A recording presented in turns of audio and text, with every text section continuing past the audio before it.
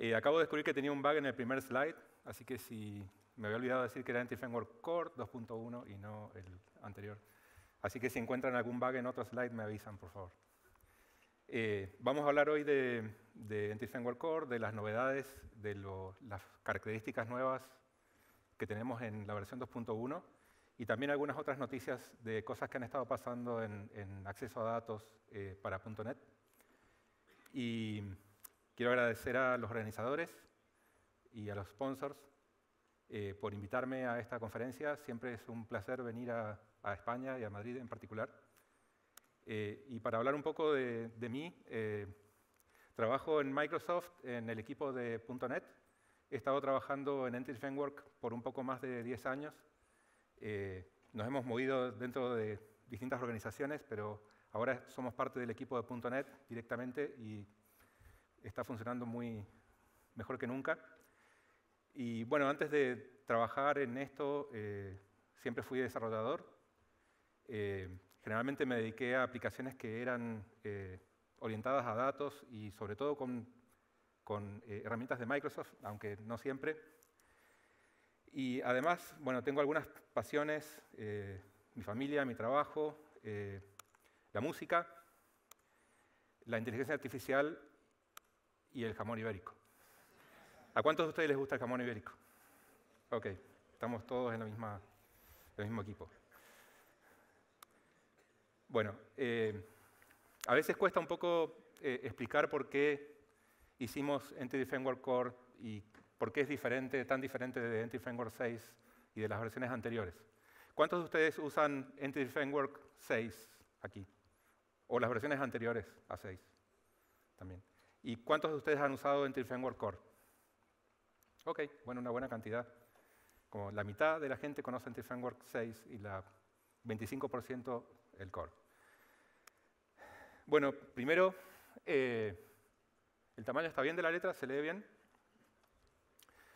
una cosa que pasaba con Entity Framework las versiones anteriores era que eh, era muy complejo y ocupaba mucha memoria en general, se demoraba mucho en, empezar a, trabajar y eso no se alineaba muy bien con las necesidades de, la computación en la nube o de la computación móvil tampoco, porque siempre tienes un poco menos de recursos disponibles, tratas de aprovechar un equipo para un ordenador para que eh, puedas correr la mayor cantidad de aplicaciones posibles o responder a la mayor cantidad de pedidos eh, posibles con la menor cantidad de hardware.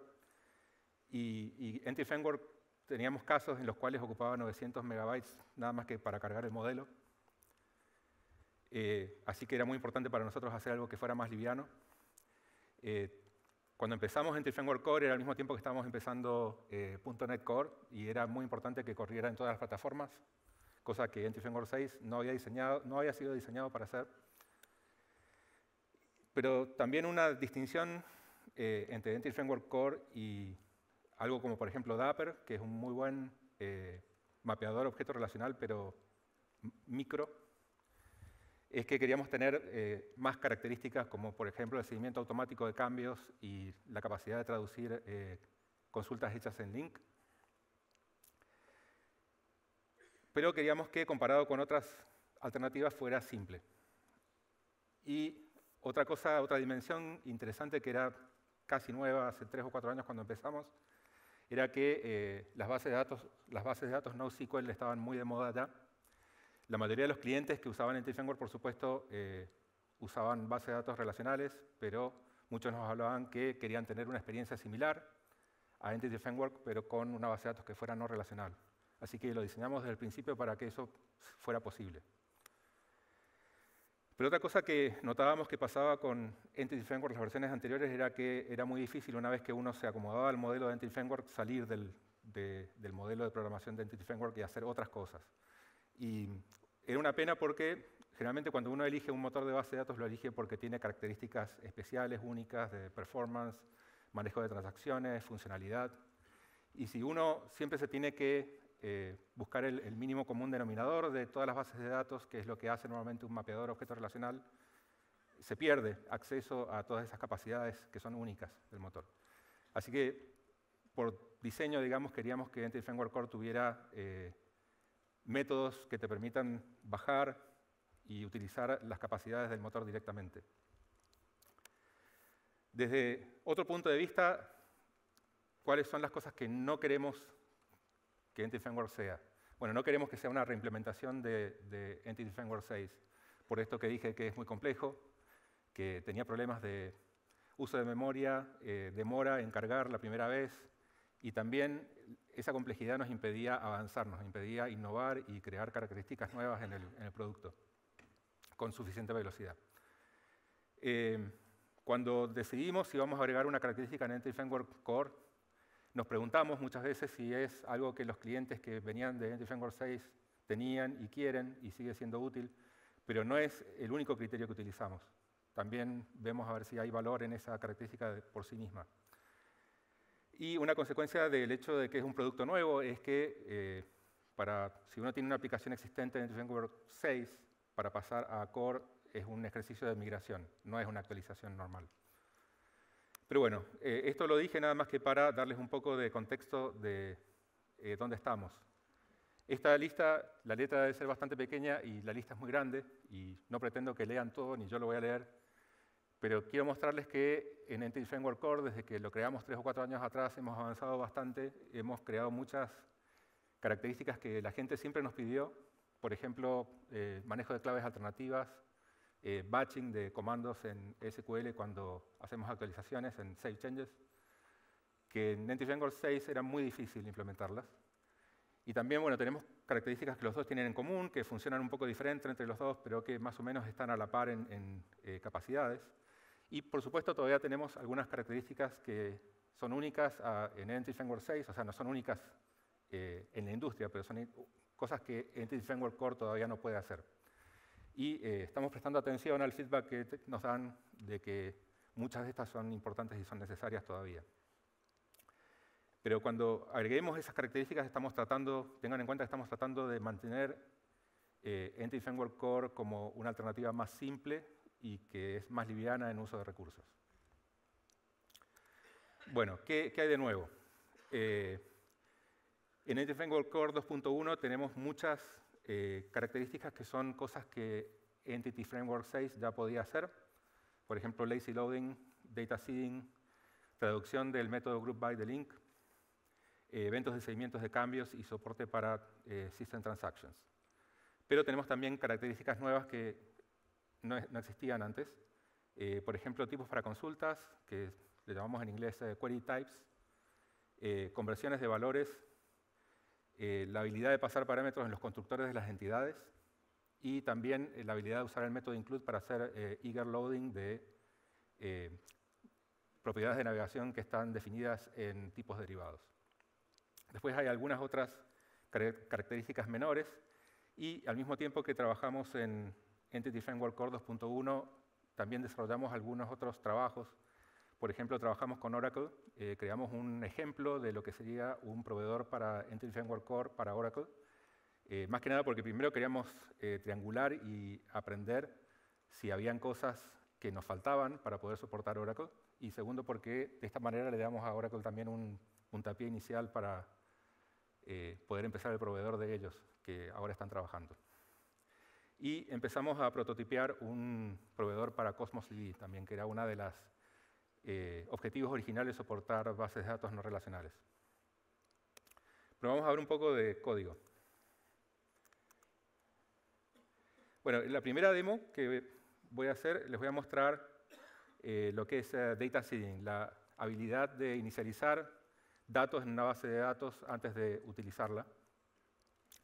Van a ver, tengo un, ejemplo muy simple que es como un sistema para hacer manejar blogs, que tiene una entidad que es el tema del blog, que es el tema visual. Oh, no se está viendo nada. Me hubieran avisado antes. Tengo que sacar el PowerPoint. Ahora sí. Bueno, es un sistema muy sencillo de blogs que no hace más, nada que eh, llevar eh, el blog con el nombre y la URL que tiene y también llevar un tema que es el tema visual del blog, que hasta el momento es muy sencillo y lo único que hace es manejar el color del título del blog.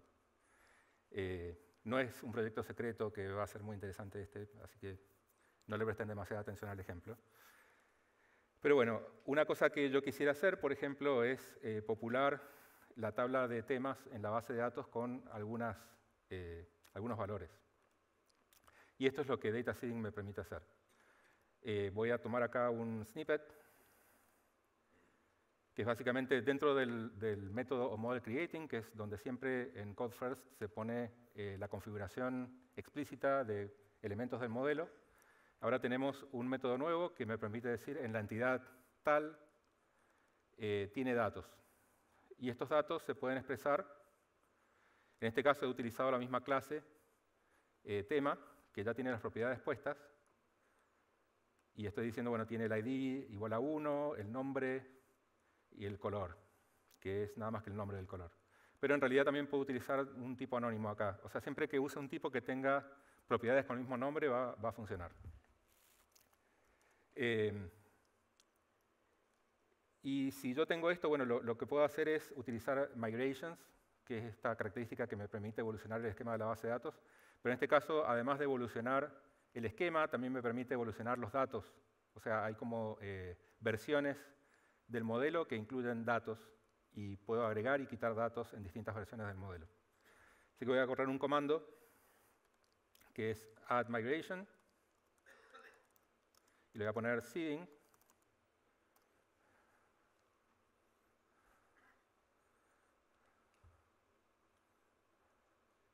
Ok, esto creó esta migración, que es una pequeña clase que contiene un método app, que es el que va, se va a ejecutar cuando tenga que actualizar la base de datos a esta migración.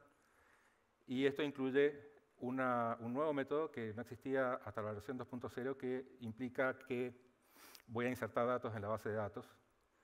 Y acá simplemente estoy usando un arreglo de, objetos para representar qué datos van a ir a la tabla. Si actualizo la base de datos,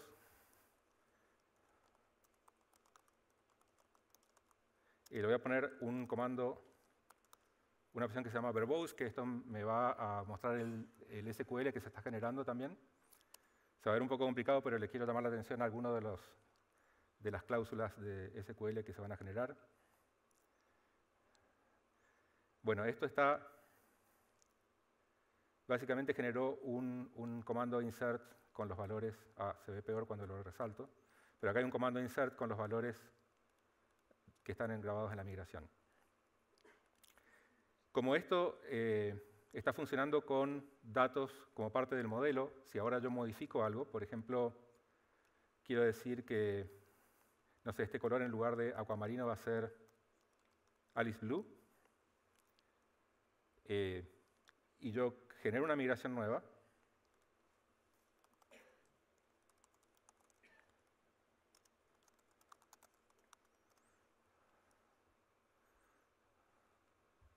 Esto me va a generar una clase de migración nueva donde estoy llamando un método nuevo que se llama updateData y estoy diciendo, bueno, para ese eh, clave primaria, vamos a actualizar a Alice Blue.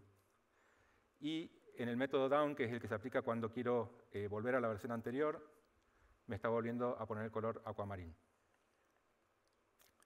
Si yo actualizo,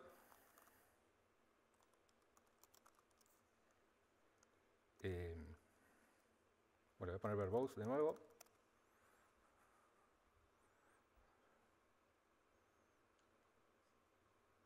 Esto me genera, entre otras cosas, un update con el color Alice Blue.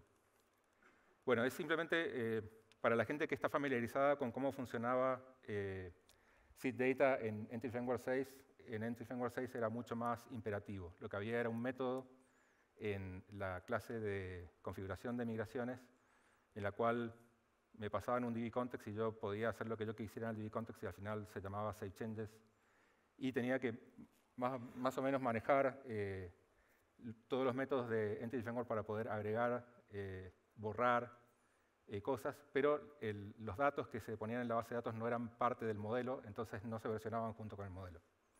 Así que esto es un poco diferente. Lo otro que tenía que hacer era que tenía que hacer muchos trucos para decir, bueno, tengo una columna identity en, en, la tabla y por lo tanto el valor de la clave primaria no lo voy a conocer hasta que no haya insertado. Y por lo tanto tengo que empezar a hacer conexiones entre los diferentes objetos para lograr recuperar el valor de la columna identity para asignárselo en la clave, en el foreign key de, de otra cuestión.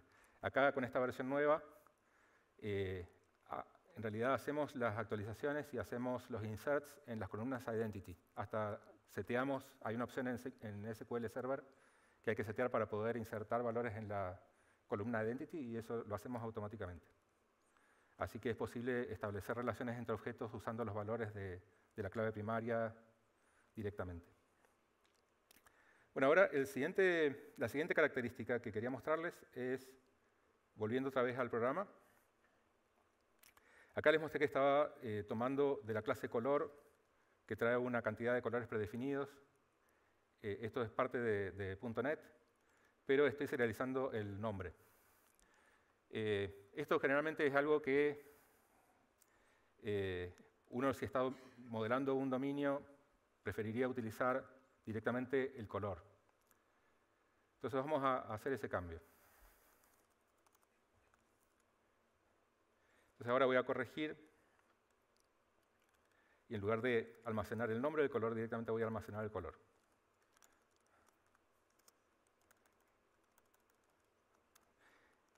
Ahora se imaginan que Entity Framework o el proveedor para SQL Server tendría que saber cómo hacer esto, ¿no?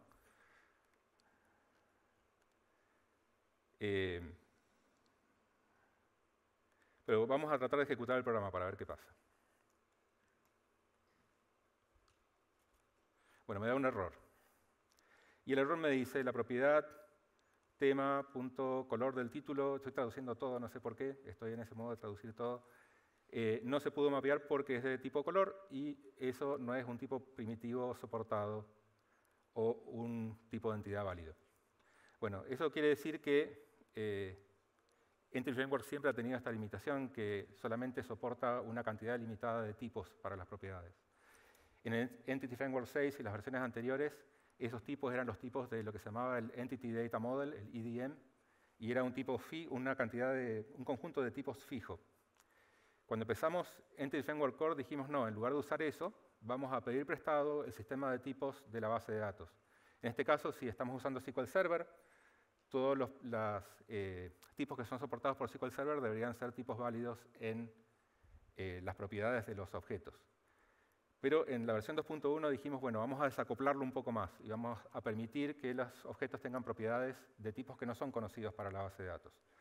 Y la forma de hacer esto, de lograr esto, es eh, con unos métodos nuevos, que en este caso, por ejemplo, me permite registrar una conversión.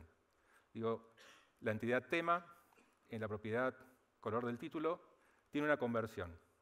Cuando necesito grabar un, valor de la base de datos, eh, dado el C, que es un color, voy a leer el nombre de eso y voy a serializar el nombre en la base de datos.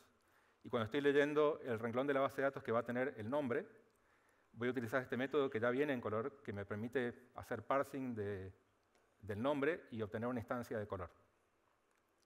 Entonces ahora ejecuto el programa van a ver que funciona y en realidad me está imprimiendo acá, esto es lo que hace eh, toString cuando uno llama toString en un color. Y sí, eso no he cambiado, no he hecho ninguna migración, o sea que no he necesitado cambiar eh, el esquema de la base de datos. Todavía en la columna lo que estoy grabando es una cadena, pero el objeto ahora puedo tener un, color. Esto normalmente en versiones anteriores lo que uno tenía que hacer era decir, bueno, voy a agregar una propiedad que no está mapeada a la base de datos y escondo la otra propiedad que sí está mapeada a la base de datos y escribo un montón de código de conversión dentro de la entidad. Y eso generalmente hacía que las entidades se vieran un poco más complicadas. Ahora permitimos hacerlo eh, como parte del modelo. Este otro, este, este característica se llama eh, conversiones de valor y además de permitirle a uno hacer eh, conversiones así propias, vienen conversiones incluidas en Entity Framework Core y en los proveedores. Por ejemplo, una, conversión muy común que puede ser muy útil es esta. Eh, no sé si ustedes conocen, pero SQL Server no soporta tipos enteros sin signo. No, no tiene columnas de tipos enteros sin signo. Así que si esto, fuera la versión 2.0 y yo trato de hacer que el ID sea un uShort, esto no va a funcionar ni para atrás ni para adelante. Pero con esta versión, automáticamente se da cuenta que eh, SQL Server no lo soporta, pero lo que puedo hacer es usar una columna del tipo entero con signo siguiente que pueda almacenar todos los valores posibles de un uShort. Otra cosa que se puede hacer es eh, manejar eh, enums o enums, no sé qué pronunciación prefieren. Eh, cuando quiero grabar un enum como una cadena en la base de datos, también lo puedo hacer y eso es una conversión automática. Lo único que tengo que decirle es eh, has column type eh, string, o bueno, varchar o en varchar. Automáticamente Entity Framework Core se da cuenta de qué conversión hay que hacer, que es hacer el toString del enum y después a la vuelta de la base de datos hacer un parse del enum. Eh, y eso es una cosa que nos han pedido muchísimo. bueno, para probar la última vez voy a correr esto con el uShort y van a ver que sigue funcionando y no necesité hacer ninguna modificación en la base de datos porque eh, la columna de tipo int perfectamente puede almacenar todos los valores de un eh, short sin signo. Bueno, el siguiente demo es de lazy loading. Esta es una característica que nos demoramos mucho tiempo en hacerla, nos vienen pidiendo desde la primera versión y nos demoramos en hacerla por varios motivos. Una es porque es un poco peligrosa y controversial. Hay mucha gente que incluso nos escribía en GitHub diciendo no la hagan, por favor, porque después voy a tener que mantener ese código yo y no lo quiero mantener así. Eh, vamos a mostrar un poco cuáles son las, ventajas y, las desventajas de hacer lazy loading. Em, acá primero voy a mostrar un programa muy sencillo también que tiene eh, blogs, y en este caso tiene posts, o sea que tengo la posibilidad de tener artículos dentro del blog. Y estoy corriendo una rutina muy simple que va a iterar sobre todos los blogs y va a mostrar el URL y va a decir, bueno, si tengo posts o los va a listar y si no tengo, me va a decir que no tengo posts. Además de eso, he agregado un poco de código acá.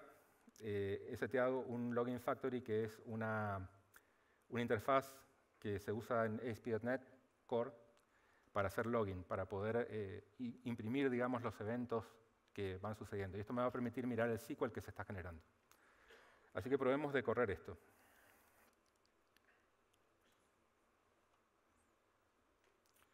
Bueno, van a ver, la primera vez se ejecutó esta, eh, este comando en SQL, que simplemente está buscando los blogs, y cuando trato de preguntar si hay algún post, me dice, no, no hay ninguno. Eh, y si yo les muestro, en realidad sí los hay porque yo grabé en la base de datos los, los posts en este método. He grabado varios blogs y a cada uno le he agregado eh, entidades de tipo post, de todas maneras. Pero no me los está mostrando. Y eso es porque en esta consulta pedí nada más que los blogs. Entonces hay una característica de Entity Framework que viene desde siempre, que es el método include, que se usa para decir, bueno, yo quiero, dado un blog, quiero incluir los posts en los resultados de la consulta. Y me falta un paréntesis. Si yo ejecuto esto, eh, cuando Entity Framework Core encuentra que tengo un include con una colección, automáticamente lo que hace es ejecutar dos queries. O sea, estoy ejecutando una para recuperar los, los eh, blogs y después ejecuta otra query para recuperar todos los posts relacionados con esos blogs. Si acá yo hubiera tenido un filtro, una cláusula where, entonces esa cláusula where aparecería acá también para no traerme todos los posts que no necesito. Esta es la forma, digamos, eh, muy eficiente de, relativamente eficiente de recuperar todos los eh, posts si voy a utilizar todos los posts pero eh, lazy loading se trata de decir, bueno, únicamente a veces voy a tratar de leer los posts y en lugar de tener que hacerlo explícitamente, se va a hacer automáticamente cada vez que yo necesite uno.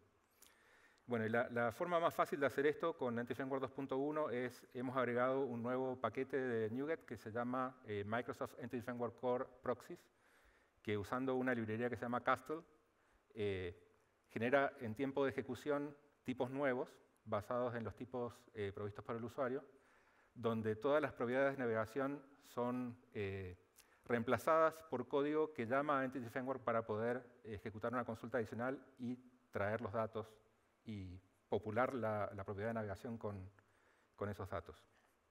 Entonces la forma de hacerlo, una vez que tengo ese paquete instalado, es decir, use eh, lazy loading proxies.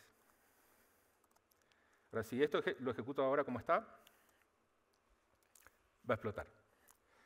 Eh, esto es, lo que me está diciendo es la eh, propiedad de navegación, perdón, posts en la entidad blog no es virtual. Bueno, esto lo hacemos así porque en la versión eh, EF6 un problema súper común era que la gente decía, bueno, quiero usar lazy loading, pero después se olvidaban de hacer que la propiedad fuera virtual. Si la propiedad es virtual, los proxies no pueden reemplazarla con el método que va y, eh, carga la información desde adentro de, la base de datos. Entonces ahora, por lo menos en esta versión, no estamos eh, dándoles ninguna capacidad de decirnos, no, pero esta, todo el modelo yo quiero que hagan proxies y que haga lazy loading, pero esta propiedad quizás no me interesa. Pero en versiones posteriores probablemente lo hagamos. Vamos eso va a depender de cuánto feedback recibamos. Por ahora lo que tengo que hacer para solucionar esto es agregar la palabra virtual acá.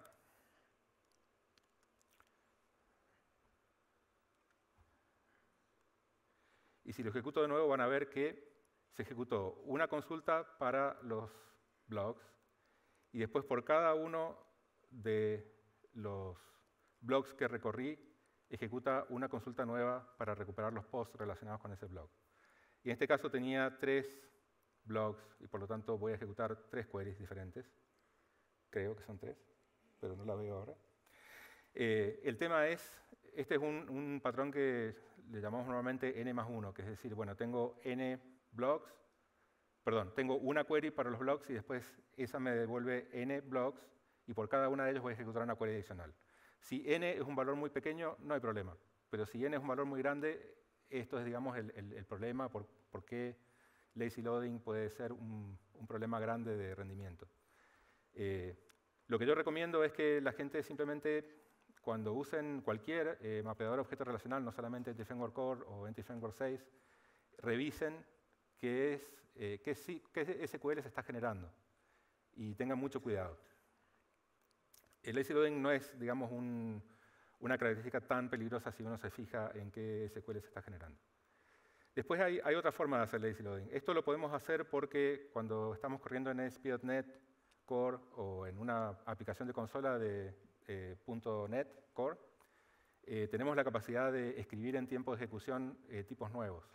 Pero si, por ejemplo, quieren hacer correr esto en Xamarin o en UWP, eh, eso no se puede hacer en tiempo de ejecución. Hay que, eh, tiempo de compilación hay que conocer todos los tipos y por lo tanto no, pueden haber proxies.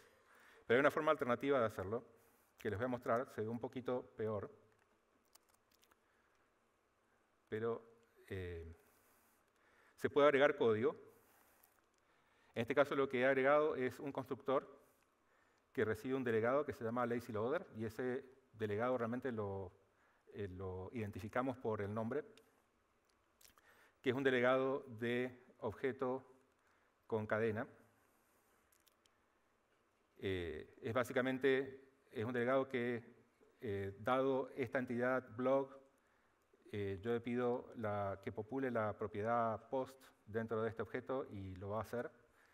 Y cuando creo una instancia de blog, Entity Framework le va a pasar un delegado que específicamente sabe cómo cargar la propiedad eh, de post para ese blog en particular. Así que eso también funciona. Eh, de hecho, como ahora ya no necesito hacer proxies, hasta puedo, si quiero, poner que esto sea una clase de sealed. El código se ve un poco más feo, digamos, hay que escribir un poco más, y no funciona en este caso. Ah, porque le, tengo que comentar una cosa. eh, le tengo que decir que no use lazy loading proxies para que funcione. Y bueno, esto funciona exactamente igual que antes.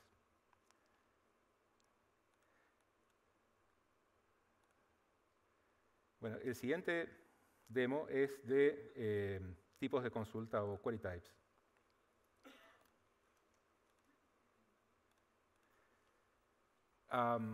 algo que, hace mucho tiempo que queríamos tener en Entity Framework es la capacidad de eh, ejecutar una consulta eh, donde los tipos que vienen como resultados en la consulta no son entidades, sino que son eh, clases que tienen una forma, tienen una cantidad de propiedades, pero no tienen clave primaria. Y este, este tipo, de, tipo de consulta se puede mapear muy fácilmente, por ejemplo, a vistas en la base de datos, o se puede mapear a una sentencia de SQL escrita en línea. Por ejemplo, voy a probar con un ejemplo. Tengo un sistema donde tengo órdenes, productos y clientes, y voy a escribir una clase que se va a llamar sumario de, o, resumen de una orden, que lo que va a tener es la cantidad, el nombre del producto y el nombre del cliente. Y esto va a ser, se va a convertir en un, en un, tipo que está registrado en el modelo de Entity Framework Core. Y para poder hacer eso, una de las formas, una de las formas más fáciles es agregar una propiedad de un tipo nuevo que se llama, en realidad, sí, sí es nuevo en este caso, eh, se llama DBQuery. Es como si fuera DBSet, que quizás están acostumbrados a usar para, eh, para crear eh, entidades, pero este es DBQuery y la diferencia es que no tiene el método add, ni tiene el método remove, ni el método attach, porque estas son nada más que para tipos de consulta. Esto, cuando eh, esté eh, revisando qué propiedades tengo en este orders context, va a descubrir esta y va a registrar order summary como un tipo de consulta. Ahora, ¿de dónde van a salir los datos? Normalmente eh, por convención, si yo tengo una propiedad DBQuery con el nombre order summary, esto va a asumir que existe una vista o una tabla con ese nombre. Para poder agregarla, voy a escribir en este caso un poco de código acá. Eh, lo podría haber hecho usando migraciones, pero es más sencillo mostrarlo de esta forma.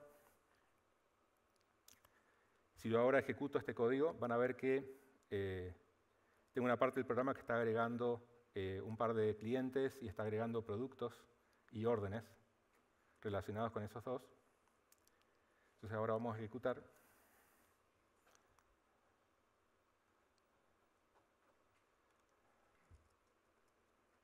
Y me falta descomentar este loop que tengo acá.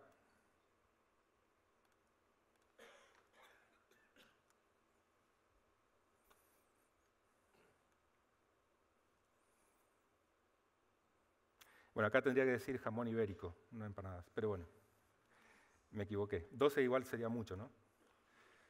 Eh, bueno, aplicaciones para, tipos de consulta. Una que ya nombré es que se puede mapear fácilmente a una vista. Otra que se puede hacer, y les voy a mostrar acá, es puedo ejecutar eh, un, poco de, perdón, un poco de SQL. Eh, tenemos este método que se llama FromSQL, que permite eh, incluir un poco de, SQL en línea y lo puedo utilizar para, para traer información de, resúmenes de orden.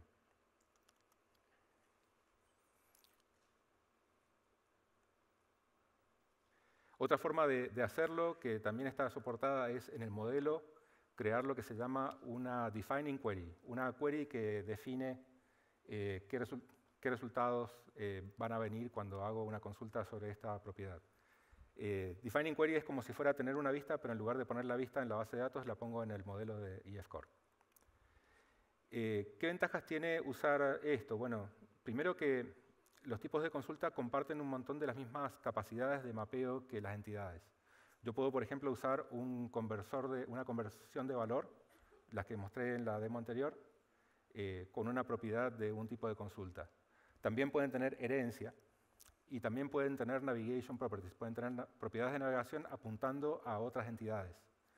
Lo que no pueden ser es, eh, digamos, el, no pueden eh, tener el rol principal en una relación con otra entidad y no pueden tener navegaciones, eh, propiedades de navegación apuntándoles desde entidades a tipos de consulta, pero sí pueden ir en, la otra dirección.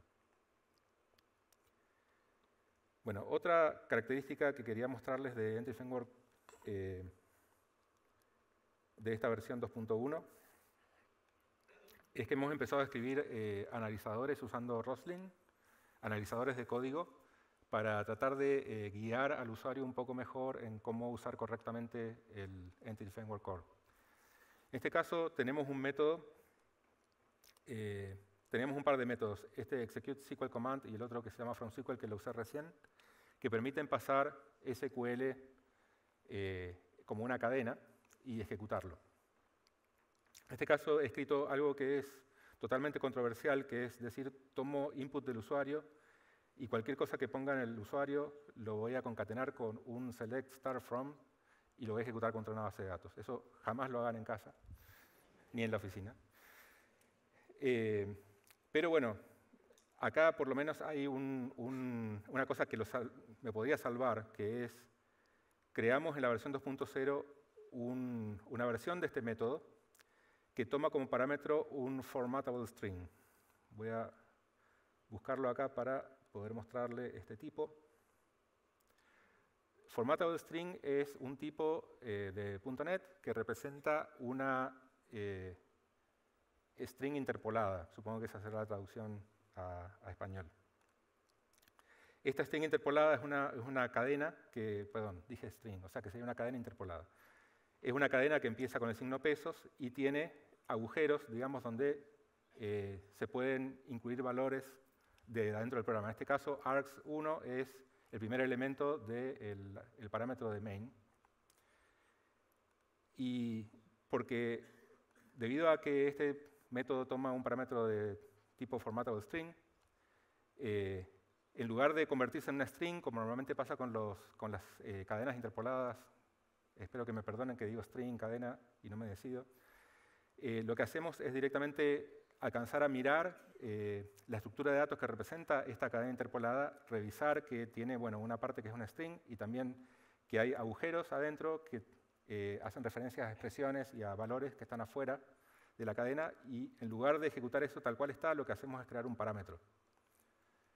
creamos un parámetro y en este caso si yo trato de ejecutar select eh, start, from y un parámetro, eso no funcionaría y por lo tanto me salvé de un montón de problemas de seguridad y de inyección de SQL.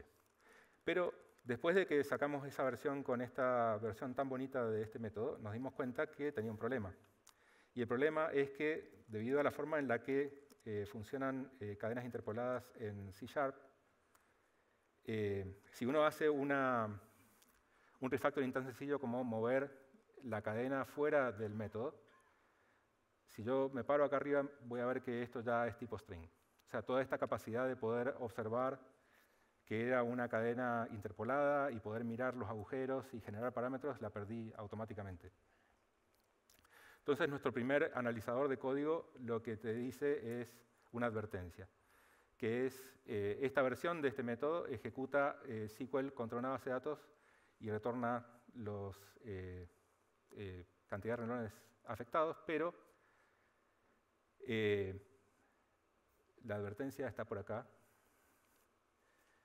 que dice la, expresión SQL pasada eh, va a incluir los datos directamente y no va a ser parametrizada.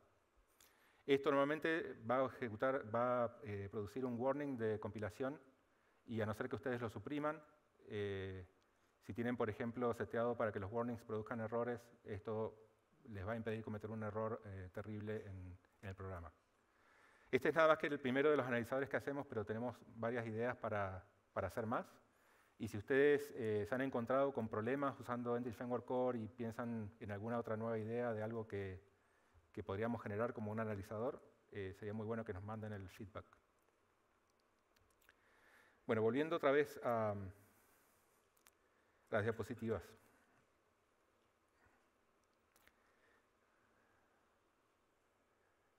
¿Qué viene después de la versión 2.1? Eh, En este momento estamos en el proceso de hacer eh, toda la planificación de, de, las versiones que van a venir después. Pensamos que van a ser la versión 2.2 y la versión 3.0. La versión 2.2 va a ser antes de este fin de año y la versión 3.0 va a ser el año que viene, no sabemos exactamente cuándo.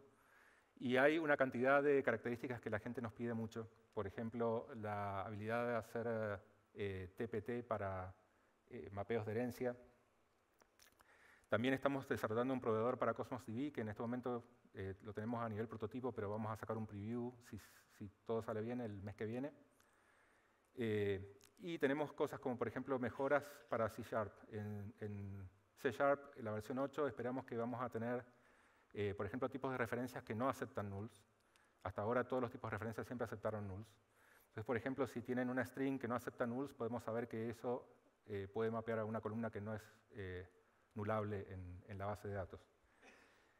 también tenemos otras, otros pedidos, como por ejemplo la, la posibilidad de hacer many-to-many, muchos a muchos o MN, mapeos de relaciones, donde hay dos objetos que tienen colecciones del otro objeto apuntando a cada uno. Y eso lo tenemos en la lista de cosas que queremos hacer también, pero que vamos a hacerlas cuando hayamos terminado eh, la lista del lado izquierdo. Eh, si tengo tiempo, creo que tengo, les quiero mostrar el prototipo. ¿Cómo vamos al tiempo? Ok. Eh, les quiero mostrar el prototipo de la base de datos CosmosDB. Esto es, van a ver, eh, un programa también muy sencillo que usa un contexto, eh, llama a algunas eh, APIs, algunos métodos para poder destruir y crear la base de datos. Eso me recuerda que tengo que hacer esto, porque si no, no nunca funciona el demo. Em, y después agrego una cantidad de valores con los métodos normales de Entity Framework y después al final hago que grabo los cambios. Eh, van a ver que también es una base de datos para blogs, con posts, y tengo una, mm, jerarquía de herencia entre blogs y special blogs, donde blogs es la clase base. Y la gran diferencia acá es que en lugar de llamar un método como useSQLServer o use uh, useInMemory, estoy llamando a useDocumentDB, que es una API que me permite conectarme con eh, Cosmos DB usando el API que ellos tienen como bases de documentos. Este método probablemente vaya a cambiar el nombre porque ellos han cambiado el nombre en Cosmos DB y ya no se llama más eh, DocumentDB, esa parte de esa interfaz de programación. Y esto también probablemente va a cambiar porque esto es como la información de conexión, que actualmente son tres partes, eh, pero ellos también están eh, trabajando en tener un connection string muy similar a lo que sería una base de datos relacional, así que seguramente vamos a usar eso. Y y bueno, todo lo demás son APIs normales de, Entity Framework Core. Y las clases estas que tenemos acá son clases normales. Ahora, si yo les muestro, eh, estoy usando el emulador de Cosmos DB local, que es este programa que está bastante bien hecho. Eh, en este momento está vacío, tengo una base de datos Cosmos DB local y no tiene absolutamente ninguna información. Vamos a poner un breakpoint acá y vamos a ejecutar el programa.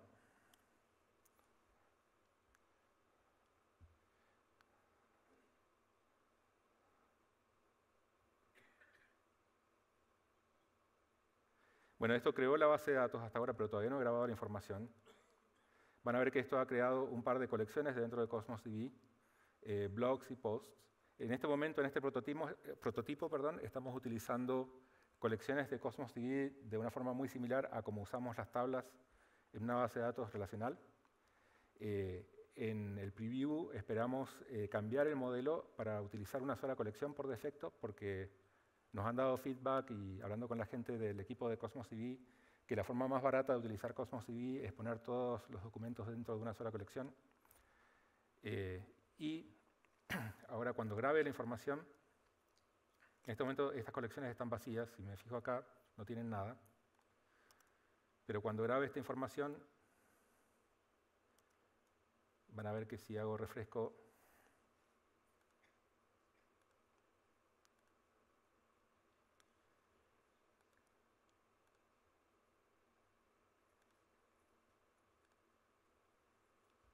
tenía que hacer refresco aquí. Ok, se han grabado eh, todos los objetos que yo había puesto y esta es la representación en JSON, digamos, de esos objetos que grabé. Eh, en este caso dije que blocks tenía una jerarquía de herencia, tenía blocks y special blocks, y vamos a ver que estamos utilizando una columna, digamos, o un valor de discriminador para representar los dos tipos que podemos soportar. Hay instancias de special block e instancias de block. La idea que tenemos es utilizar un discriminador y poner todos los tipos del modelo dentro de la misma colección, pero con un discriminador para poder manejar ese, caso. Eh, cuando tengamos el, preview, eh, probablemente el mes que viene, eh, sería muy interesante que gente que está acostumbrada a usar Cosmos DB nos den feedback y nos, nos den un poco de orientación acerca de cuáles son las características que más les importan que Entity Framework Core soporte.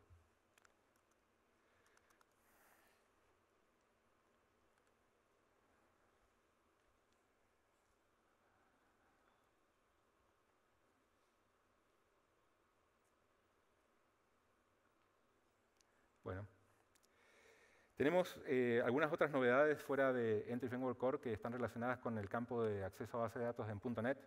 Una de ellas que anunciamos en la conferencia Build es que vamos a aportar, vamos a migrar eh, Entity Framework 6 a .NET Core. Ah, no sé si eso lo sabían. La idea de hacer esto es proveer un camino muy sencillo para la gente que tiene aplicaciones existentes para poder eh, migrar a, a .NET Core sin necesariamente hacer la migración también a Entity Framework Core. La versión de Entity Framework 6 eh, que vamos a hacer la próxima para .NET Core va a ser multiplataforma, va a correr en Linux y Mac, además de Windows. Y eh, no reemplaza a Entity Framework Core porque la idea es solamente eh, proporcionar este camino sencillo para actualizar. No vamos a invertir en características nuevas para Entity Framework 6, solamente estamos migrándolo para que corra en más lugares, pero sin agregar características nuevas. De todas maneras, Entity Framework 6 es, una, es un proyecto open source y recibimos eh, pull requests, recibimos contribuciones. Nos estamos demorando bastante en procesar las contribuciones porque estamos más enfocados en Entity Framework Core, pero prometemos que para la versión 6.3 vamos a procesar eh, todo lo que tengamos pendiente. Van a haber algunas limitaciones posiblemente, eh, por ejemplo, tipos espaciales en SQL Server probablemente no funcionen porque son para para Windows y para .NET Framework eh, actualmente. Eh, puede ser que las herramientas para Entity Framework 6 sean un poco más difíciles de manejar, haya que hacer pasos adicionales para poder utilizarlas, pero el runtime va, va a correr completamente. Ah, y lo otro, bueno, proveedores como Oracle o terceras partes van a tener que ellos también migrar a .NET Core para que puedan ejecutar.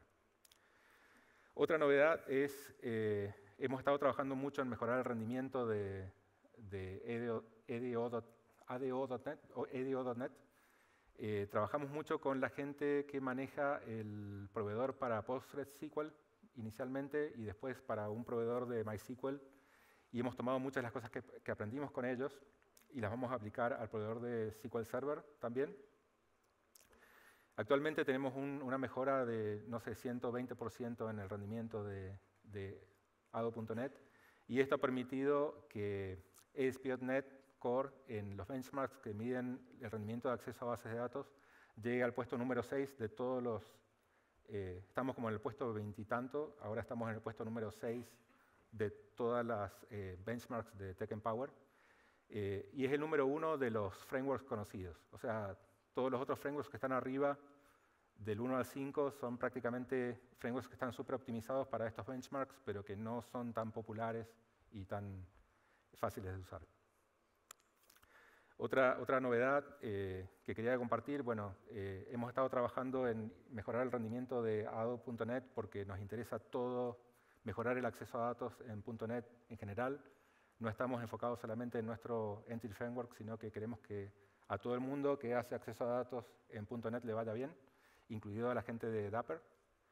Eh, y bueno, la gente de Dapper ha expresado que en realidad le gusta mucho Entity Framework Core, y lo que quiero decir con esto es que, bueno, que sería bueno que la gente piense que cada uno de estos productos, de estas tecnologías de acceso a datos tiene su lugar. Hay escenarios en los cuales Dapper funciona mucho mejor y hay escenarios en los cuales Entity Framework Core funciona mucho mejor y hay muchos otros eh, mapeadores de, bases de datos que también funcionan muy bien. Simplemente sepan elegir cuál es el mejor para cada escenario. No sé si alcanzan a hacer alguna pregunta. Estoy acá. Ah, por cierto, ahí abajo está la dirección de dónde están las demos. Todavía no las he actualizado con lo último que estaba haciendo en esta computadora, pero eh, va a estar pronto actualizado. ¿Alguna pregunta?